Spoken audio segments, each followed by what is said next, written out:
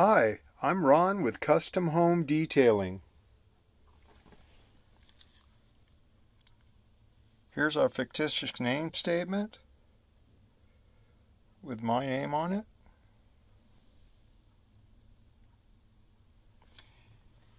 Here's the seal of approval, the court seal.